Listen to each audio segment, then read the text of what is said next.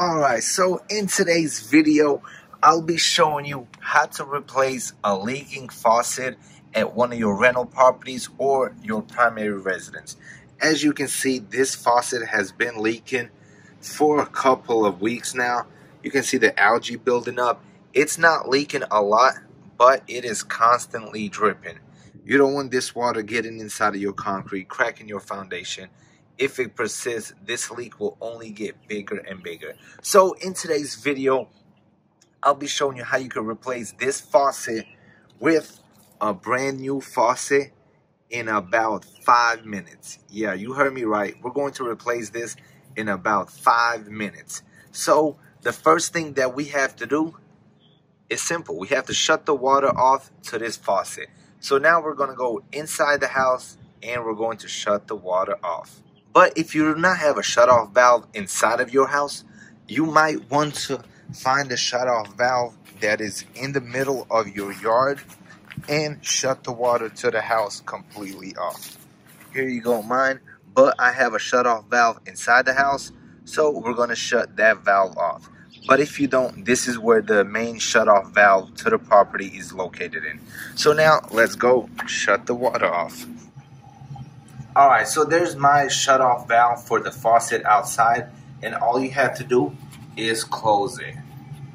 It might be a little bit rough, but this will shut the water off to your faucet outside. And now the next step that we have to do is go back outside and let the water drain from the pipe. Let's go. I know a lot of faucets outside. This goes all the way back inside the property and you are able to unscrew it and replace this entire piece. But on this one specifically, it is just a copper pipe that is welded onto another copper pipe. Alright, so if I try to forcefully unball this faucet, I will probably crack a pipe somewhere inside of the wall.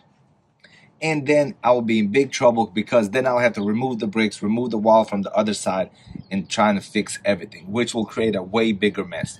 But I ordered this half inch faucet on Amazon. Check it out. And it has a shark bite. So all we have to do is cut the pipe right here, clean it off with some sandpaper, and then use this shark bite and just pop it in place and we are going to be finished.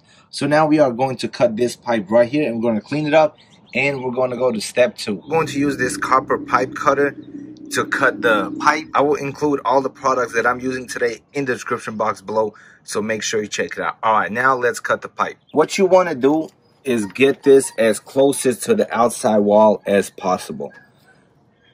This way, when you cut it, you will have a ton of space to move around with. And then we're going to spin it around. And after every couple of spins, you want to tighten it even more this way the pipe gets cut really nicely. And there you go. Now your old faucet is completely off. It just took us a minute to do it. All right, now the water is leaking. The next step that you want to do is get some sandpaper, make it wet. This way we can clean off the edges of the pipe because you want the shark bite to stick as best as possible. So you're gonna see how dirty it was? So you want to clean it as much as possible. If you have a really, really dirty pipe and there's some cement on it or caulking or anything restricting it from being cleaned, you can always use tougher sandpaper. Right here, I got more durable sandpaper, but looks like I won't be needing it because this pipe is starting to look real good. And now we're going to keep cleaning until it is all cleaned up and ready to go. For now, with this shark bite faucet, we are simply able to pop it on and we should be ready to go. This is what makes this job super easy to do and anybody can do it because it is extremely easy. You do not have to solder anything. It is just pop and go. And that is why I like these shark bites faucets. Extremely easy. All right, now we're going to pop it in. You want to make sure this white circle goes inside of the pipe. All right. Hopefully this works. Let's do it. All right, so after you push it on tight, it will look like this. And now you have a brand new faucet installed on your property. as you can see there's no leakage whatsoever you can also add two screws right here and right here if you really want to attach it to the property but in my case it is on strongly so you do not have to do it and just to prove to you guys that it works I don't want to do it any further or you released a ton of water alright so there you go that is how you install a brand new faucet outside these SharkBite faucets are extremely easy to install all you have to do is cut the pipe clean it a little bit and pop it on and you're ready to go. So that is a real easy method that you can use to install a brand new faucet on your rental property or at your house.